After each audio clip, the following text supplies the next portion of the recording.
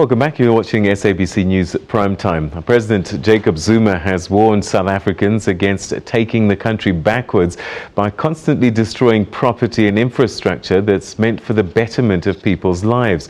He was speaking at Cofimvaba in the Eastern Cape, where he launched the multi-million rand uh, Ncora water treatment works.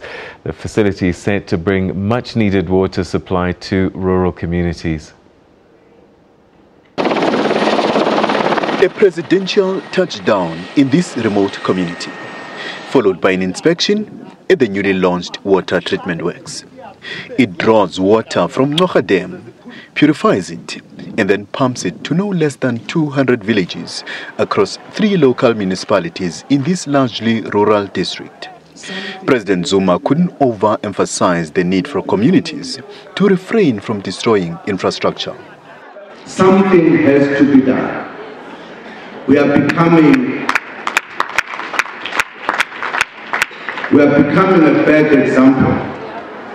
Immediately after everyone in the world has been saying these Mandela people understand and they know what democracy is all about. Democracy does not mean you promote anarchy. A message well received by the community. For this village, however, unclean drinking water remains a reality. People from town are shocked that we drink such water, but it's by the grace of God that we are not sick.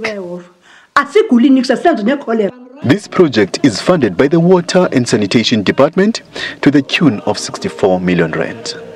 The launch of this water project today by President Jacob Zuma has given hope to households like this one that their days of drinking water with the animals will soon be behind them and their dream of having clean and safe drinking water will soon be realized.